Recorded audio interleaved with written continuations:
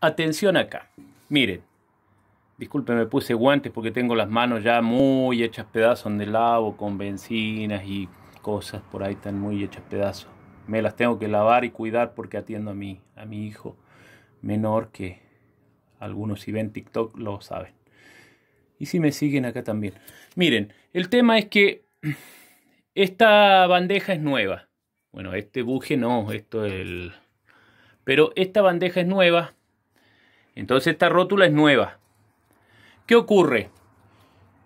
¿Y qué les quiero explicar? Van a encontrar muchos tutoriales. Yo no edito nada, lo que va, como salga, salga, así se va el video original. Miren, si este buje en la punta del eje, el, buje que encaja de la, de la bandeja para arriba, de la rótula, si en este perno ustedes notan que hay presión, está mal. Tiene que entrar facilito.